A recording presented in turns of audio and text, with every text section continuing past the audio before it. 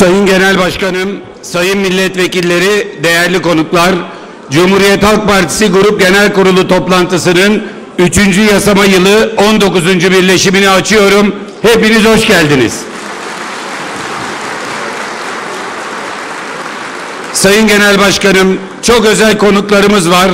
Hızla çok önemli de bir gündemimiz var. Herkes heyecanla bekliyor. Hızla arz ediyorum. Eskişehir ve Ankara il başkanlarımız, Denizli Çal, Bodrum, Yozgat Yenifakılı, Ankara Bağla, Eskişehir Beylikova, Erzurum Palandöken, Kırşehir Boztepe, Kırşehir Akpınar, Antalya Elmalı ilçe başkanlarımız aramızda. Hepiniz hoş geldiniz. Tepebaşı Belediye Başkanımız, Bodrum Belediye Başkanımız, Merzifon Belediye Başkanımız, Kırşehir Boztepe Belediye Başkanımız, Kırşehir Akpınar Belediye Başkanlarımız aramızda. Hepiniz hoş geldiniz. Çankaya Belediyesi meclis üyeleri, Avusturya, Fransa, Strasbourg ve İs- İsviçre CHP Gençlik Kolları üyeleri, Gölbaşı İlçe Yönetimi, Hava Harp Okulu öğrencilerinin aileleri, İstanbul Suriçi Düşünce Derneği yöneticileri, 19 Mayıs Üniversitesi öğrencileri, Kızılırmak Dernekler Federasyonu Başkan ve Yönetimi, Milliyetçi Demokratlar Derneği Genel Başkanı ve Yönetimi, İstanbul Sancaktepe Birlik Cemevi Başkanı ve yönetimi aramızda. Ayrıca Sayın Genel Başkanım, adalet yürüyüşünde hayatını kaybeden partilimiz Sayın rahmetli Hasan Tatlı'nın değerli eşi ve kızları aramızda. Kendilerine de hoş geldiniz diyoruz. Sayın Genel Başkanımızı haftalık değerlendirme konuşmasını yapmak üzere kürsüye arz ediyorum.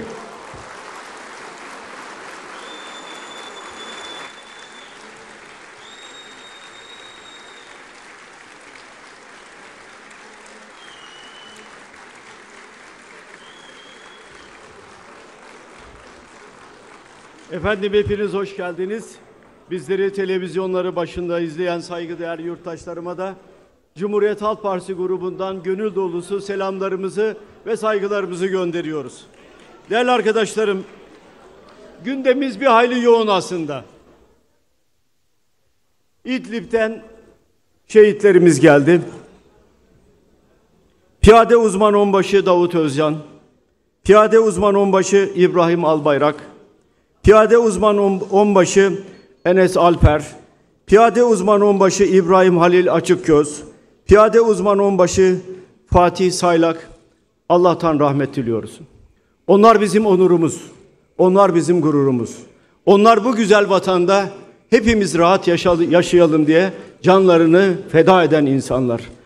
Önce ailelerine, yakınlarına, sevenlerine ve bütün milletimize başsağlığı diliyorum. Son iki haftada 13 şehidimiz oldu. Suriye konusunda geçen salı günü 5 madde halinde bir yol haritası çizmiş ve bunu kamuoyuyla paylaşmıştım. Devleti yönetenlerden istirham ediyorum. Bir daha söylüyorum. Devleti yönetenlerden istirham ediyorum. Yeni şehitlerimiz gelmesin. Ölenler bizim insanlarımız. Suriye'nin toprak bütünlüğünü biz de savunuyoruz. Dolayısıyla beş maddelik yol haritasına lütfen uyunuz. Hiçbir komşumuzla kavga etmek istemiyoruz. Hele hele vekalet savaşının maşası konumuna gelmek istemiyoruz. Olmasın istiyoruz. Egemen güçlerin Orta Doğu'daki taşeronluğuna Türkiye soyunmamalıdır. Bedelini bizim asker ödememelidir. Bunu söylüyoruz.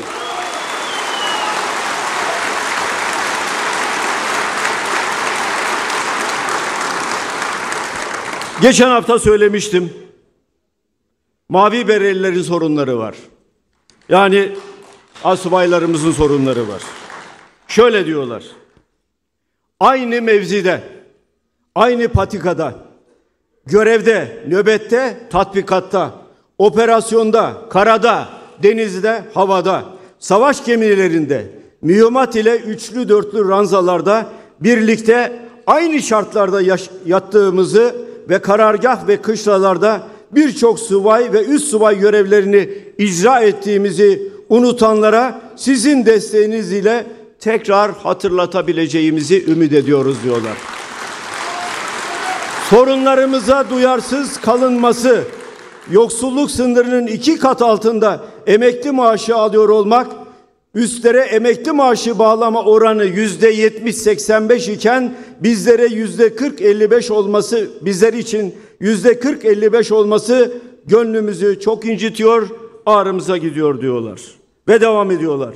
Bizler siyaseli, siyasileri sadece şehit merasimlerinde değil, ekonomik, sosyal, hukuksal sorunlarımız olduğunda da yanımızda görmek istiyoruz. Ancak görüyoruz ki her defasında üstelik sözler ve hayırlı olsun denen sorunlarımıza bile insani hassasiyet göremiyoruz. Türk Silahlı Kuvvetleri'nin omurgası biz bizler ayrıcalık ve imtiyaz değil sadece adalet istiyoruz diyorlar. Ve şöyle küçük bir de kitapçığı bana verdiler. Verilen sözler nedir? Gelinen nokta nedir? Hemen baştan okuyayım. 14 Mayıs 2012 Genelkurmay Başkanlığı'nın bilgi notu. Yarbay ve daha üst subaylara verilen görev tazminatının birinci dereceye yükselmesi, yükselmiş görevdeki ve emekli az, subaylara da 385 TL verilmesi hususu yetkili makamlara teklif edilmiştir. Genelkurmay diyor ki talebiniz yetkili makamlara aktardık. Milli Savunma Bakanı 11 Ocak 2013'te diyor ki sizin sorunlarınızla sorunlarınıza çözüm için çalışmalara başlamış bulunuyoruz. 2013 2020 nasıl bir çalışmaysa bir türlü sonu gelmiyor. 15 Aralık 2013 Orgeneral Sayın Yaşar Güler tazminat talepleri onun da muhatabı biz değiliz. Yani onları haklı görüyorum diyor ama onların tazminat talepleri muhatabı biz değiliz. Hükümet yapmayalım demiyor. Onlara yaparsak herkes ister diyor. Hayır kardeşim. Dağda, bayırda, çölde çarpışan, mücadele eden, ranzada yatan sadece ve sadece bizim askerlerimiz. Ver onlara kardeşim. Kimse talepte bulunmaz.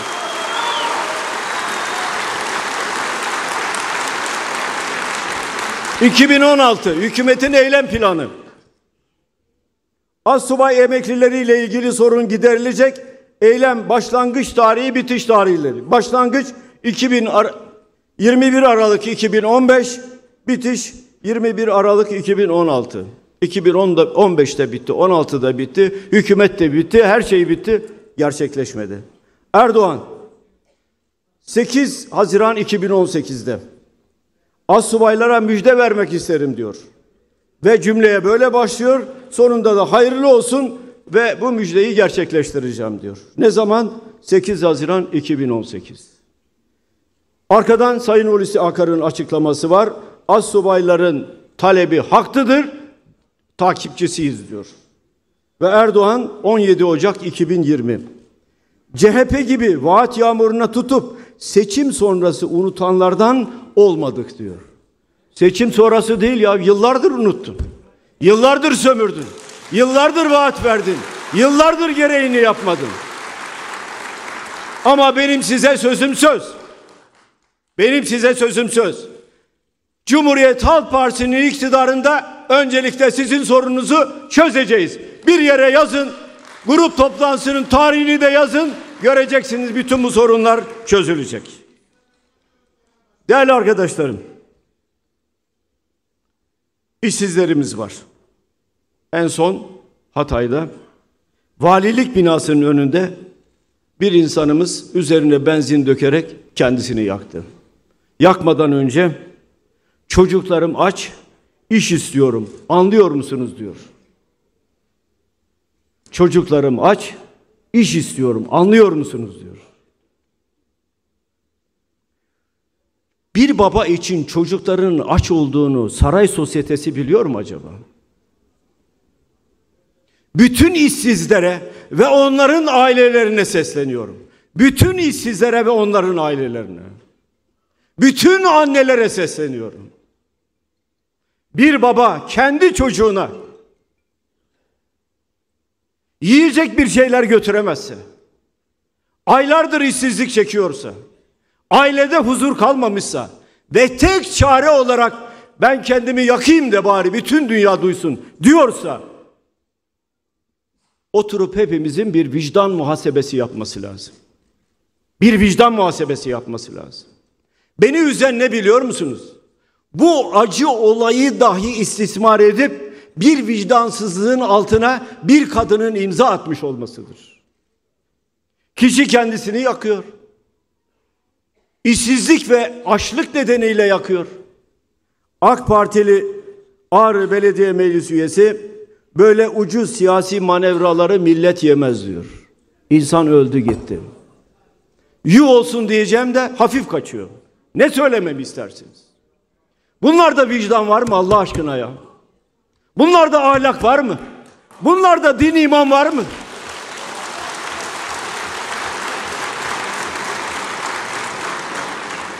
Kişi işsiz, yıllardır işsiz. Aylardır işsiz. Bayramda diyor çocuğuma kolayı borç alarak çocuğuma kola aldım diyor. Sen hala bunu siyasi manevra olarak görüyorsun. Milyonlarca gencimiz ise milyonlar. Senin karnın tok biliyoruz. Köşeyi döndün biliyoruz. Her türlü istismarı yapıyorsun biliyoruz. Bari ahlaksızlık yapma ya. Bari ahlaksızlık yapma. Değerli arkadaşlarım. Burada FETÖ'nün siyasi ayağını açıklayacağım dedim. Aslında hepinizin bildiği konular.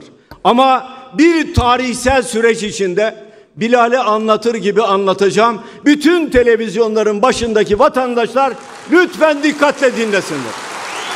Kim bu siyasi ayak? Kim bu adam? FETÖ'yü bu kadar güçlendirenler kimlerdir? 20 soru 20 cevap. 20 soru 20 cevap. Ama önce Cumhurbaşkanlığının bir yayını var.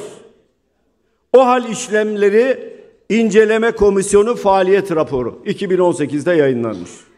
Faaliyet raporundan iki cümle. FETÖ ile ilgili olarak şöyle diyor. Devletin tüm kılcal damarlarına sızdılar diyor. Devletin tüm kılcal damarlarına sızdılar. Yine devletin tüm kamu kurumlarını sonra da devleti ele geçirmeye çalıştılar diyor. Amaçları devlet tüm kamu kurumlarına sızıp sonra da devleti ele geçirmek. Rapor bu cümleleri içeriyor. Birinci sorumuz şu. Bir terör örgütü devletin tüm kılcal damarlarına nasıl sızar? Bu soru önemli. Cumhurbaşkanlığına bağlı bir birimin raporu diyor ki FETÖ terör örgütü devletin bütün kılcal damarlarına sızıyor diyor. Bunların amacı devleti ele geçirmektir diyor. O zaman birinci sorumuz ne? FETÖ terör örgütünün elemanlarını devletin tüm kılcal damarlarına kim nasıl yerleştirdi? Örneğin polise, İçişleri Bakanlığı'na, valilikler, kaymakamlıklar, hakimler, savcılar, generaller, paşalar buralara nasıl yerleştiler? Buraya terör örgütünün elemanlarını yerleştirenlere FETÖ'nün siyasi ayağı diyoruz. Terörün elemanlarını devletin en hassas birimlerine yerleştiren iradeye FETÖ'nün siyasi ayağı diyoruz. Bir daha söylüyorum. Devletin en mahrem birimlerine, en önemli birimlerine, FETÖ'nün elemanlarını yerleştirenlere FETÖ'nün siyasi ayağı diyoruz.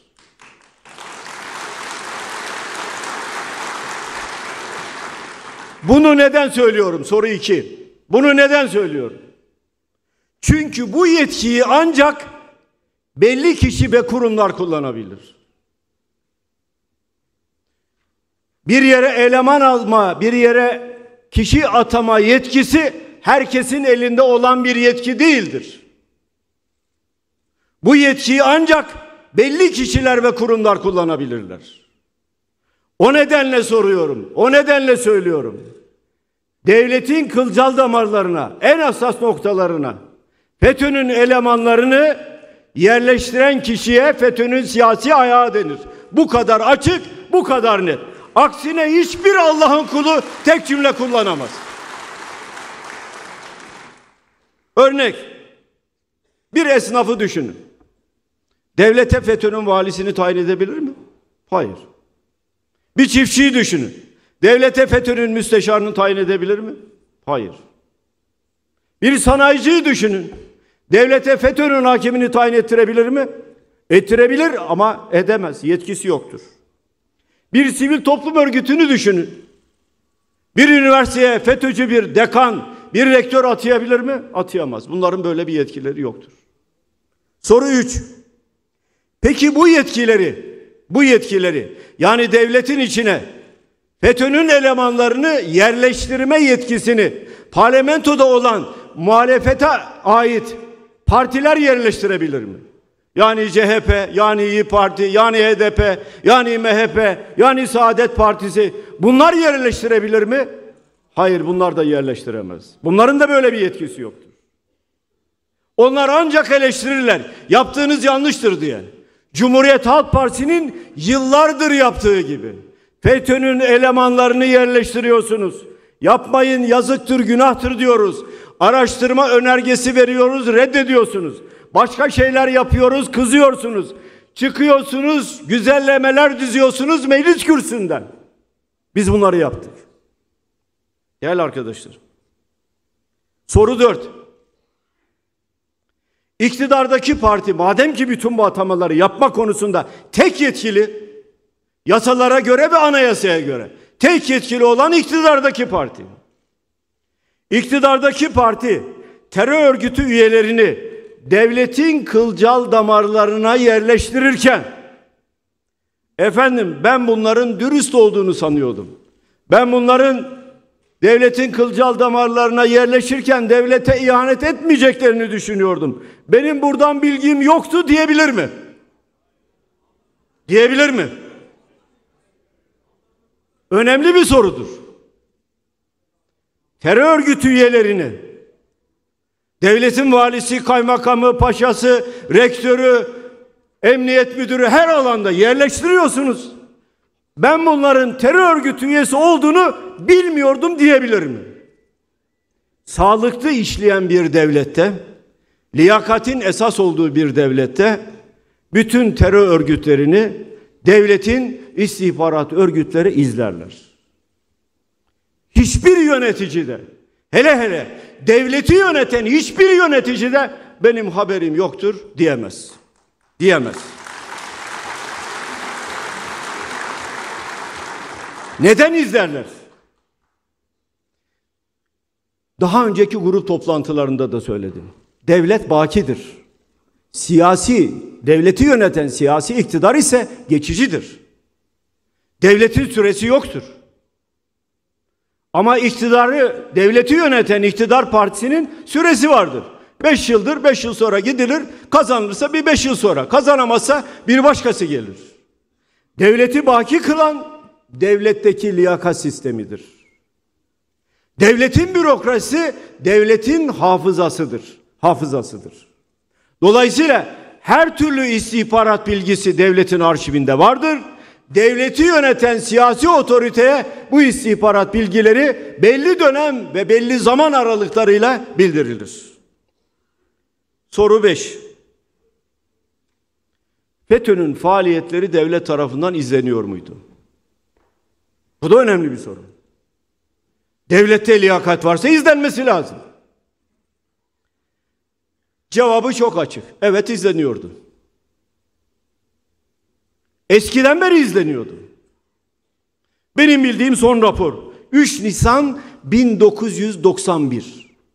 3 Nisan 1991 tarihli MIT raporu. Fethullah Gülen hareketinin CIA ile ilişkilerini o raporda yazmışlar ve dönemin iktidarına da sunmuşlar. Dikkatinizi çekerim.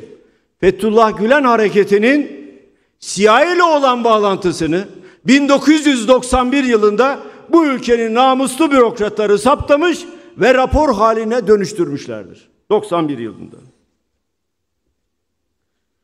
Soru 6. Sadece 91 yılında mı 1991 yılında mı Milli İstihbarat Teşkilatı rapor düzenledi? Hayır. FETÖ'yü düzenli izlemiştir. Düzenli izlemiştir. Bir MİT müsteşarının Sayın Şenkal Atasagun'un bir gazeteciye 1 Ekim 1999'da yaptığı açıklama. Aynen okuyorum.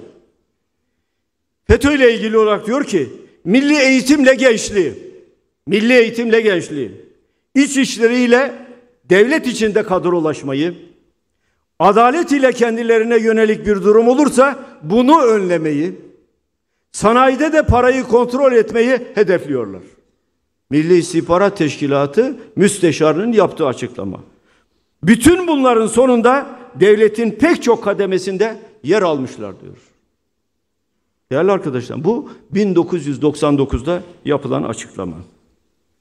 Soru 7. FETÖ ile ilgili istihbaratı sadece MIT mi topluyordu? Devletin diğer istihbarat bilimleri FETÖ ile ilgili istihbarat toplamıyor muydu? Hayır. Emniyet istihbaratta, jandarma istihbaratta, Milli İstihbarat Teşkilatı da FETÖ ile ilgili istihbaratı düzenli topluyordu. Düzenli topluyordu. Biraz daha yukarı çıkalım. Soru 8. Milli Güvenlik Kurulu FETÖ ile mücadele edilmeli, gerekli önlemler alınmalıdır diye bir karar aldı mı? En son yukarıya çıkacak. Genelkurmay Başkanı'nın, MİT Müsteşarı'nın, İçişleri Bakanı'nın, Başbakan'ın yani devletin en önemli, en hassas birimlerinin oluşturduğu Milli Güvenlik Kurulu'nda bu olay oturulup tartışıldı, konuşuldu mu? FETÖ'nün bir terör örgütü olduğuna dair bir tespit yapıldı mı? Evet yapıldı. 25 Ağustos 2004 tarihinde. 481 sayılı karar. O kararın o kararın Başbakanı Recep Tayyip Erdoğan'dır değerli arkadaşlar. Bu da Milli Güvenlik Kurulu'nun kararıdır. Milli Güvenlik Kurulu'nun kararıdır. Kararı okuyorum. Milli Güvenlik Kurulu kararı. Devlette nelerin yapılması gerektiğini anlatan bir karar. Önlem alınmasını isteyen bir karar. FETÖ'nün devletin bütün kılcal damarlarına sızıyor. Önlem alın bakın devlet elden çıkacak diye diye söylenen bir karar. Şöyle. Fethullah Gülen konusu gündeme gelmiş. Yurt içi ve yurt dışı faaliyetlerine karşı bir eylem planı hazırlanması. Yurt içi ve yurt dışı faaliyetlerine karşı bir eylem planı hazırlanması.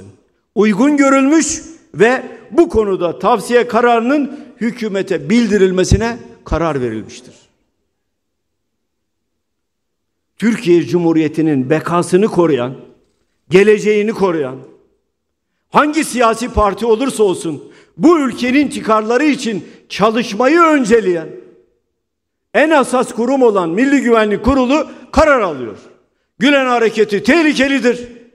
Derhal içerideki ve dışarıdaki faaliyetleriyle ilgili önlem alın. Kime bildiriyor? Hükümete. Neden? Yürütme organı da orası. Bakanlar orada. Genel müdürler orada.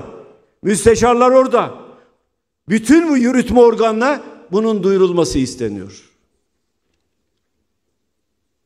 Geçiyoruz dokuzuncu soruya. Milli Güvenlik Kurulu kararına karşın dönemin hükümeti ne yapmıştır? Gerekli önlemi almış mıdır? Dönemin hükümeti başında Erdoğan vardır. Dönemin hükümeti Milli Güvenlik Kurulu kararı geldi. Kendisi de orada. Altına da basmış imzayı. Her türlü önlemi alacağız diye ne yaptı?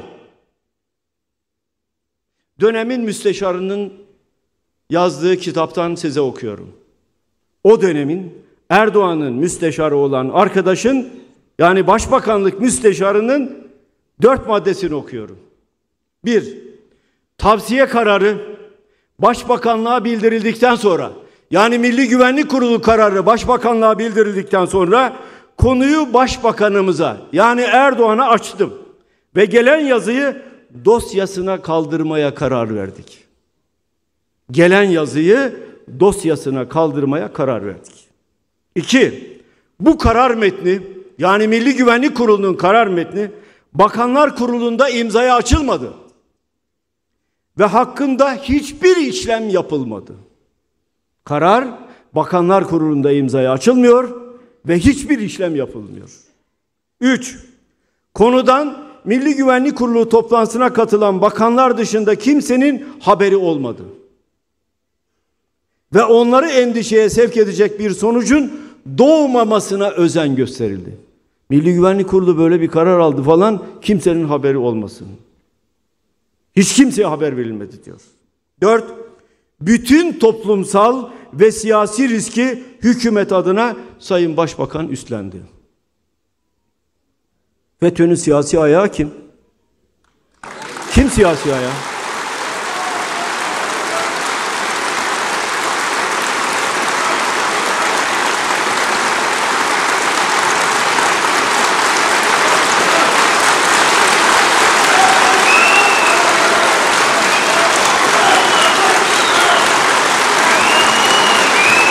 Evet. Vicdanı olan, vicdanı olan herkese söylüyorum. Vicdanı olan. 15 Temmuz'da şehit olanlar adına soruyorum. 15 Temmuz'da gazi olanlar adına soruyorum. Bu memleketi sevenler adına soruyorum. FETÖ'nün siyasi ayağı kim? Ben biliyorum. Ben biliyorum neler söyleyeceğini. Nasıl bağıracağını da biliyorum. Çok bağırdığı zaman benim geri adım atacağımı sanıyor. İstediğin kadar bağır, istiyorsan borazan da al. Ben bu millete doğruları sonuna kadar söyleyeceğim.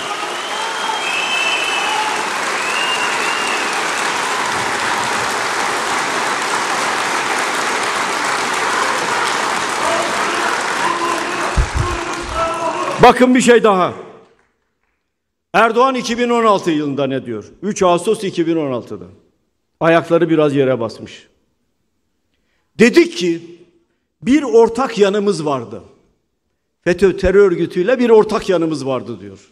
2016 3 Ağustos.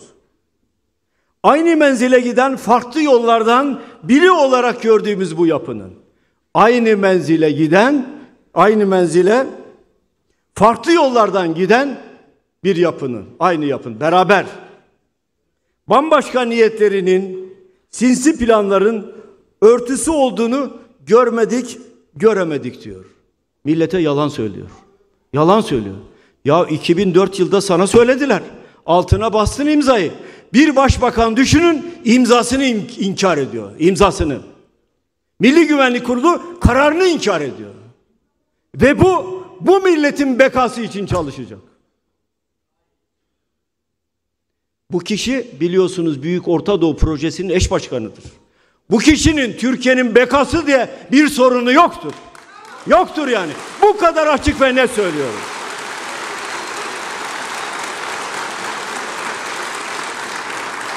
...12 yıl önce, 12 yıl önce önüne konur Milli Güvenlik Kurulu kararını. Basarsın, önlem alın diye karar alırsınız. Sonra hiçbir şey yapmazsınız. Soru 10. Burada bitmiyor tabii. Soru 10. Milli Güvenlik Kurumu'nun bu kararına rağmen FETÖ devletin kılcal damarlarına sızmaya başladı mı ya da sızmaya devam etti mi? Sızma diyorum ama aslında yerleştirme. Yani FETÖ'nün elemanları devletin kılcal damarlarına, etkin yerlerine yerleştirilmeye devam etti mi? Evet bu güzelim ülkeye ihanet etmeye devam ettiler. Devletin en kritik kurumlarına, en hassas kurumlarına FETÖ'nün elemanlarını bir bir yerleştirmeye devam ettiler. İçişleri Bakanlığı, emniyete, polise, orduya, Maliye Bakanlığı'na, Sayıştay'a, TÜBİTAK'a, Milli İstihbarat Teşkilatı'na, YÖK'e, Telekomünikasyon İletişim Başkanlığı'na, Öğrenci Seçme ve Yerleştirme Merkezi'ne ve bu merkezden sorumluların çalınıp FETÖ'nün elemanlarına verilmesine ve bunun bilindiği halde görülmemesine savcı iddianame hazırlamak isterken savcının susturulmasına ve iddianame hazırlanmamasına bütün bunların tamamı aşama aşama gerçekleşti. Soru 11. FETÖ'nün yürütme organının yetkilerini aşan talepleri nasıl yerine getirildi? Bu da önemli bir soru. Şimdi yürütme organı nedir? Vali tayin eder, emniyet müdürü tayin eder, kaymakam tayin eder, paşayı tayin eder, efendim müsteşarı tayin eder. E, bütün bunları yapar. Yetkisi vardır bütün bunlarda. Ama belli konular var ki FETÖ'nün talepleri yürütme organı bunu yerine getiremiyor. O zaman ne yapmam lazım diyor? O zaman yasa çıkararak yetki almam lazım diyor ve FETÖ'nün talepleri için parlamentoyu araç olarak kullanmam gerekir diyor. Önemli bir tespit. Türkiye Büyük Millet Meclisi FETÖ'nün taleplerini yerine getirmek için araç olarak kullanıldı.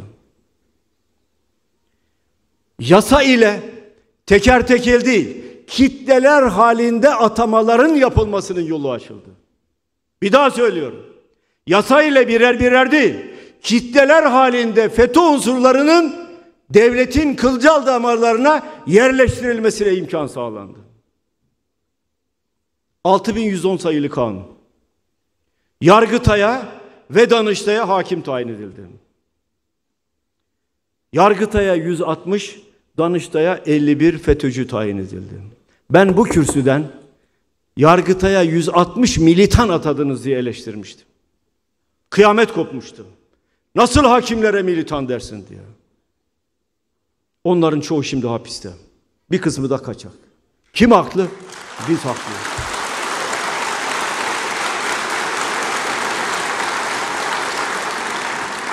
Bazen daha geniş bir yetki alıyorlar.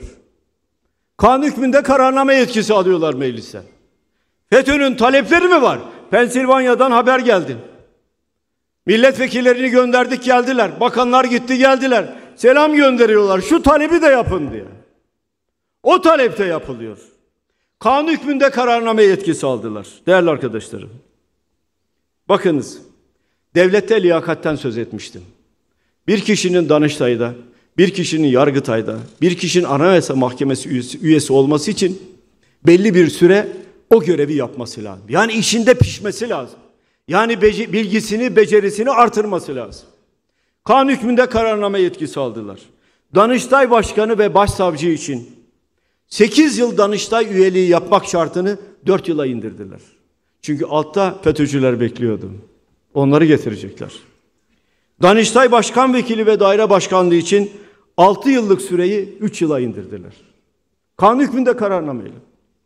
Yargıtay Başkanı ve Başsavcı seçilmek için 8 yıllık Yargıtay üyeliği süresini 4 yıla indirdiler. Yargıtay Başkan Vekili ve Daire Başkanı için 6 yıl Yargıtay üyeliği süresini 3 yıla indirdiler. Hakimlik sınavına girmeyi de 35'ten 45'e çıkardılar. Kendi adamlarını alacaklar ve yerleştirecekler. Böylece kitle atamasıyla yargı tümüyle FETÖ'nün kontrolüne geçti. Yapan kim? Allah aşkına bunu yapan kim? Bu kanunu meclise getiren kim? Hangi başbakanın imzası vardı?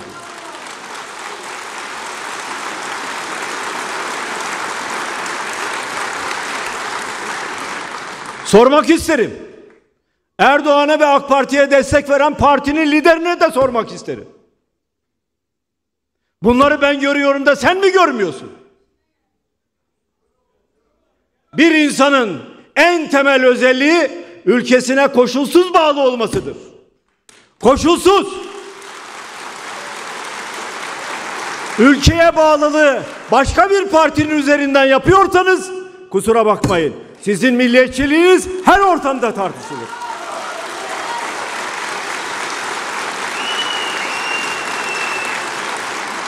Bu kavgaların tamamını biz verdik arkadaşlar. Bu yasalar çıkarken bu kavgaların tamamını bu parti verdi. Soru 12. Soru 12. Toplu FETÖ'cü yerleştirme sadece Yargıtay ve Danıştay'da mı oldu? Hayır. Ordu'da da oldu. Üstelik 17-25 büyük rüşvet olayından sonra oldu. Bakın bu konuda hiçbir yorum yapmayacağım. Sadece size, sadece size bununla ilgili Ankara Cumhuriyet Başsavcılığı'nın hazırladığı bir iddianameden bir bölüm okuyacağım. Benim değil, bir iddianameden bir bölüm okuyacağım. Örgüt yani FETÖ ayrıca Türk Silahlı Kuvvetleri komuta kademesinin tamamını mümkün olan en kısa sürede ele geçirmek maksadıyla generalliğe terfi için albaylıkta bekleme süresini 4 yıla indirerek henüz şura sırası gelmeyen mensuplarını terfi havuzuna dahil etmiştir. Devam ediyor. Diğer yandan generallikte rütbe bekleme süresi 4 yıldan 3 yıla indirilerek kendisine müzahir olmayan yani sempati duymayan yani yandaşı olmayan generalleri daha kısa sürede Türk Silahlı Kuvvetleri dışına çıkarmaya çalışmıştır. Son olarak kendisine müzahir elemanların az bulunduğu 1988 ve daha önceki yıllarda mezun olmuş subayları Türk Silahlı Kuvvetlerinden tasfiye etmek için üç devreyi birden, üç devreyi birden toplu olarak emekli edecek ve hizmet süresini 28 yıla indirecek kanuni düzenlemeleri siyasi otoriteye yaptırabilmiştir. Ben demiyorum. Bunları ben biliyorum. Savcı diyor. Bu devletin savcısı diyor. Siyasi otorite yaptırabilmiştir. O siyasi otorite işte FETÖ'nün siyasi ayağıdır. Onun başındaki kişi de FETÖ'nün siyasi ayağıdır.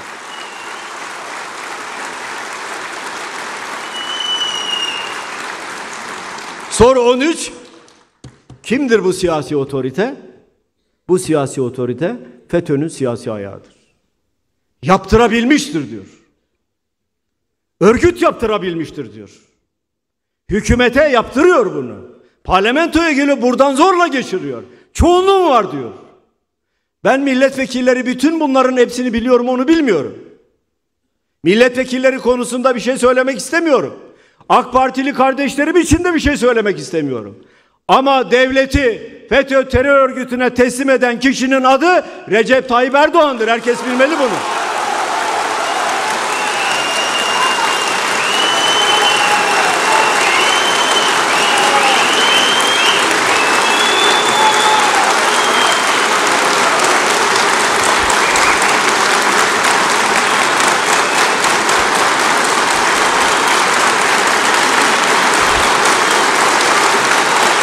Teşekkürler arkadaşlar. Soru 14. Soru 14.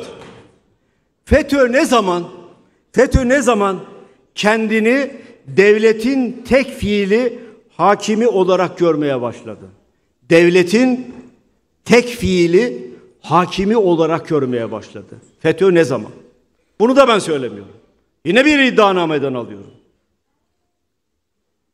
Örgüt yani FETÖ 2007 yılından sonra örgütlenmesini tamamlamış Erdoğan'ın sayesinde.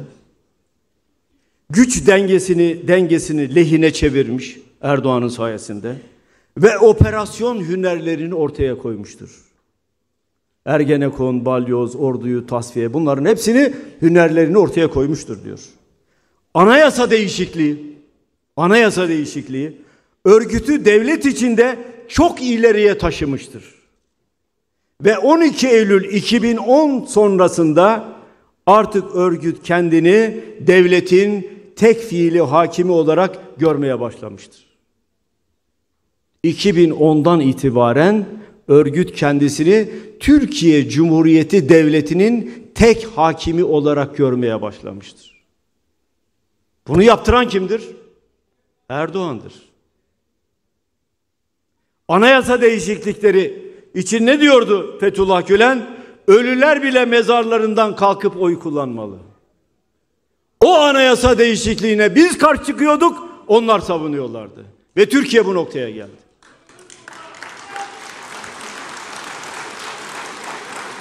Soru 17 daha bitmedi. Soru 17. 2013 yılında bir 17-25 Erdoğan'ın ve ailesinin yaptığı o büyük rüşvet olaylarını hepimiz öğrendik. Hepimiz. Dosyayı kapattılar ama o dosyayı bu milletin vicdanı kapatmış değildir. Yapılan yolsuzlukların tamamı doğrudur. Alınan paraların tamamı doğrudur. Alınan paralar. Hortumun tamamı doğrudur. Bunu söyledik. Bunu söyledim diye dava açtı. Avukatımız sağ olsun gidip tapeleri getirin. Genel başkanın dediklerin tamamı doğrudur dedi. Vay sen misin tapeleri isteyen? Şimdi avukatı FETÖ'cülükten içeri atmaya çalışıyorlar. Sanıyorlar ki bizim avukatımız Sayın Celal Bey geri adım atacak. Asla geri adım atmak bizim kitabımızda yoktur.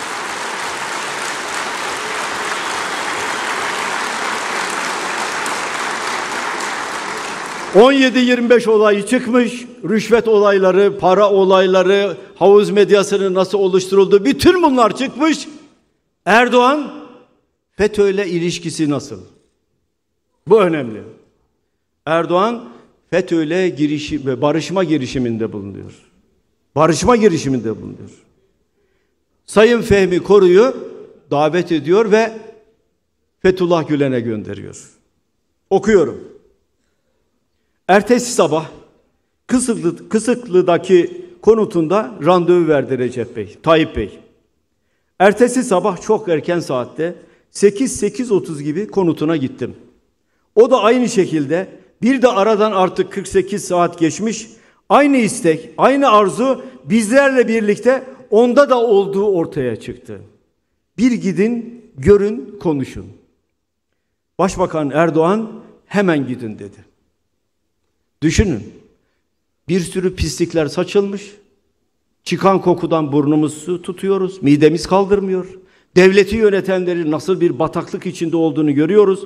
Kul hakkı yemenin geleneksel bir tavır olduğuna e, tanık olduğu bütün dünya o hala başıma bela açar diye nasıl barışırım diye Fehmi Koru'yu gönderiyor. Sormuyor arkadaş ben niye barışayım? Niye barışmak ister?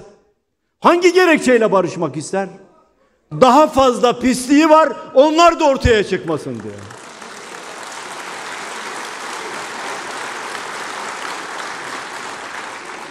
Soru 18.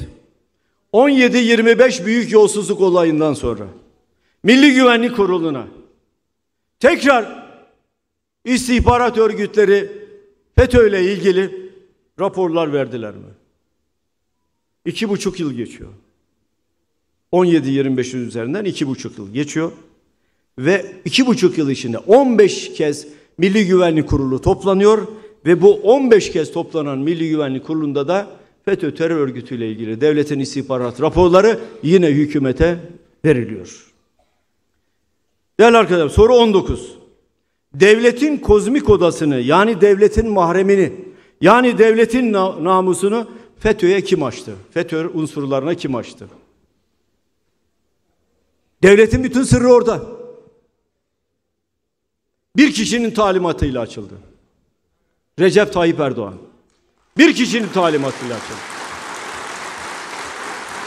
Şimdi bütün milletin vicdanına sesleniyorum. Ahlakına sesleniyorum. Adaletine sesleniyorum. Vicdanına sesleniyorum.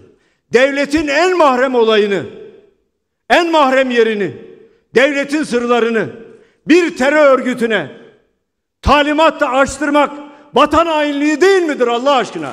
Vatan hainliği değil midir?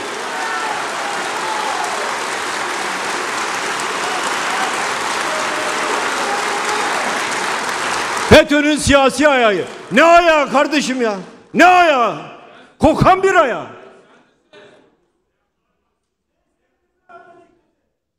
Soru 16. Sayın İlker Başbu, affedersiniz, Sayın İlker Başbu, FETÖ'nün siyasi ayağını açıkladı mı?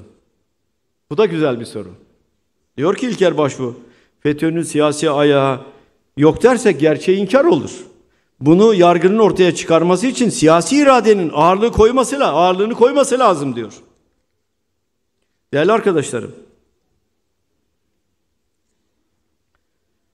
25 Haziran'ı 26 Haziran'a bağlayan gecede mecliste bir kanun görüşülüyor. Ordu bazı FETÖ unsurlarını saptamış, özellikle Kayseri'de. Orduya yapılan kumpasla ilgili belgeler toplanmış, kişiler belli. Ama o gece, gece yarısı buraya bir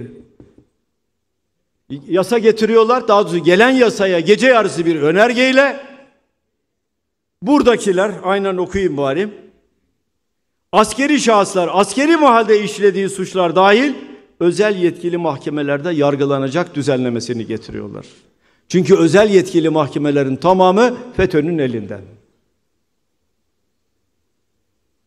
Ve diyor ki İlker Başbuğ, bu konu araştırılırsa FETÖ'nün siyasi ayağı çıkar. Hayır efendim. Bu konu zaten belli. FETÖ'nün ayak takımı var burada. FETÖ ayağı yukarıda. FETÖ'nün ayak takımı burada. O grup başkan vekilleri dönemin bakanları vesaire onlar ayak takımıdır. Talimatı bir yerden alıyorlar. Nitekim hala bugün bile Erdoğan savunmaktadır bunu. Bugün bile savunmaktadır. Bir soru daha. FETÖ'cüleri devlete yerleştiren siyasi irade, devlette liyakati göz ardı mı etti? FETÖ'cü olmak devletin kılcal damarlarına yerleştirmek için, yerleşmek için yeterli miydi? Maalesef devletin en kritik noktalarına atanmak için tek şart vardı. FETÖ'cü olmak. İster, isterseniz alleme cihan olun. Bilginiz olsun, birikiminiz olsun, yurt dışınıza doktorunuz olsun, profesör olun, doktor olun, yıllarınızı verin. Ülkenizi seviyorsanız, vatanınızı seviyorsanız, halka hizmet etmek için çaba harcıyorsanız bir tarafa atıyorlar. FETÖ'cü müsün? Evet. Nereden onay aldın? Pensilvanya'dan. Seni hemen atıyorum diyor. Bunu da ben söylemiyorum. Yine iddianameden, savcının iddianamesinden okuyorum. Devlet yönetiminde yalnız ehliyet, liyakat ilkesiyle hareket edilmeli. Başka hiçbir mülahaza etkili olmamalıdır diyor savcı. Türkiye sırf Fethullah Gülen cemaatinden olmanın kamuda atama ve yükselmede yeterli tek kriter olduğu bir dönemi yaşamıştır diyor. Ben söylesem Kılıçdaroğlu diyecekler gene bir şeyler söyledi. Doğru değil. Ben değil bunları ben söylemiyorum. Savcı söylüyor değerli arkadaşlarım. O kadar ki Sayın Haberalı mahkum etmişlerdi. Hapisteydi Sayın Haberal. Haksız yere. Tazminat davası açtı FETÖ'cü hakimlerle ilgili. Arkadan şu oldu. Sen misin tazminat davası açan? Yargıtay'da o dönem dürüst hakimler vardı. Bugün de var dürüst hakimler. Onların sayesinde zaten şu anda devlet ayakta duruyor. Tazminata mahkum ettiler FETÖ'cü hakimleri. Hemen bir kanun getirdiler. FETÖ'cü hakimler tazminat ödemez. Tazminatı onların adına devlet ödeyecek. Sen istediğini yap. İstediğin kararı ver. Ben sana ne söylersem öyle karar ver. Tazminattan korkma. O tazminatı ben fakir fukaranın ödediği vergilerle ödeyeceğim dedi. Ve bu karar çıktı. Ve Erdoğan şunu söyledi. Tutuk, çekingen bir yargıç sınıfı oluşmamalı. Ne tutuk oluyorsun, ne çekingen oluyorsun. Ben talimat verdim kardeşim, sen kararını ver. Tazminat mı? Korkma. Ben onu da karşılayacağım dedi. Ve soru 20 arkadaşlar. FETÖ ile gerçekten mücadele ediliyor mu? FETÖ unsurları devletten temizlendi mi? Vicdanı olan herkes biliyor ki FETÖ ile samimi bir şekilde bir mücadele yapılmış değildir. Herkes biliyor ki parası olan dışarıda. Kayınpederi olan da dışarıda. Hiç kimse gücü olan, siyasi arkası olanların hiç kimsenin kılına dahi dokunulmadı. FETÖ'cü oldukları bilinen bay, baylokçular vardı. Rakamı vereyim. 215.092 baylokçu listesi var. 215.092. Bu baylokçu listelerini niye açıklamıyorlar? Niye FETÖ'yü koruyorlar? Açıklayın kardeşim. Neden korkuyorsunuz? Hiçbir ayıklama yapmadan açıklayın. Buradan söylüyorum. Hiçbir ayıklama yapmadan açıklayın kardeşim. Baylokçu listesini açıklamıyorsan FETÖ'ye destek vermeye devam ediyorsun demektir.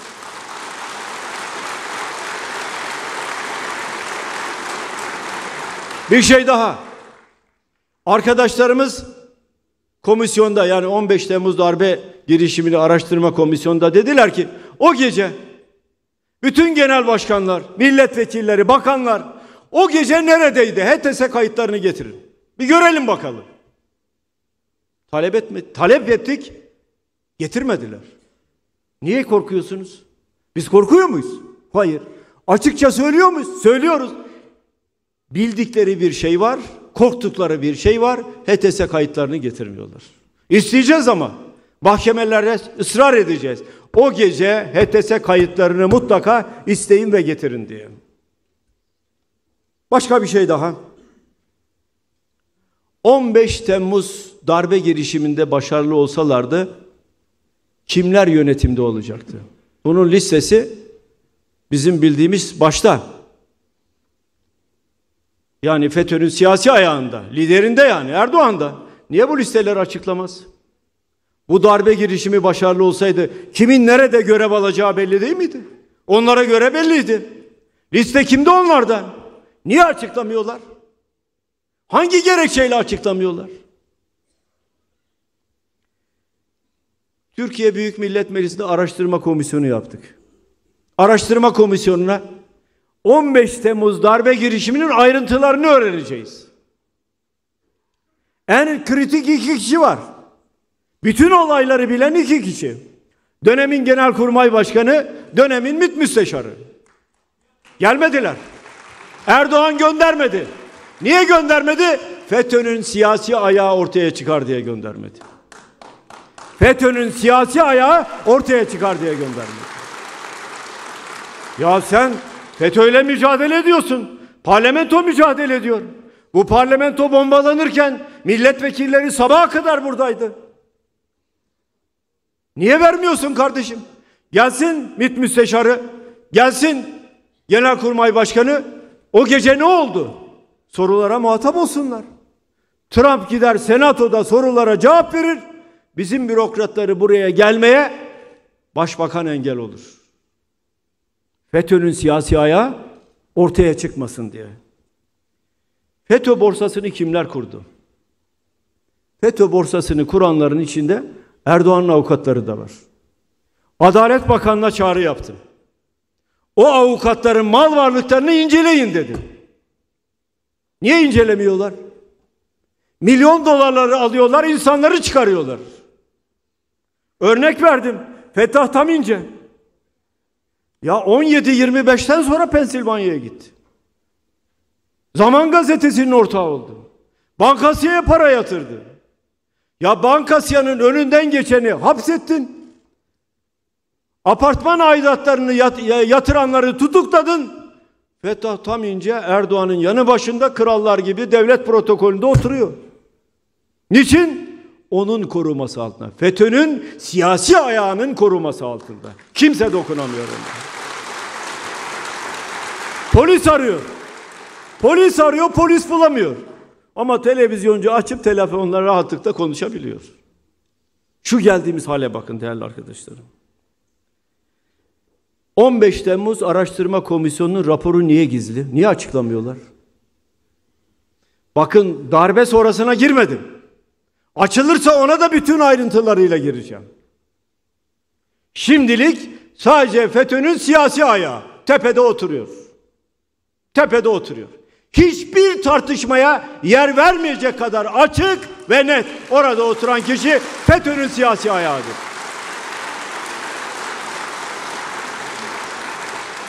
Bakınız Zindaşlı vardı. Cumhuriyet Gazetesi gerçekten önemli bir gazetecilik görevi yaptı. Uyuşturucu ticareti yapıyor. Adam öldürüyor. Cinayeti azmettiriyor. FETÖ üyeliği var. Tutuklanıyor. 6 ay içeride kalıyor. Sonra siyasi baskılarla hakimler serbest bırakıyorlar. Kim? Burhan Kuzu. Senin kuzuluğunu sevsinler. Burhan Kuzu. Nerede görevli bu? Nerede görevli? Cumhurbaşkanlığı Hukuk Politikaları Kurulu üyesi. Ben FETÖ'yle mücadele ediyorum diyor sözde. Sen garip gurebayla mücadele ediyorsun. Fakir fukarayla mücadele ediyorsun. Bankasıya para yatıranın günahı ne kardeşim? Bankasıyı kim kurdurdu? Ona, ona hesap soracaksın. Askeri öğrencilerin günahı ne kardeşim? Askeri öğrencileri sokağa çık diyene hesap soracaksın sen.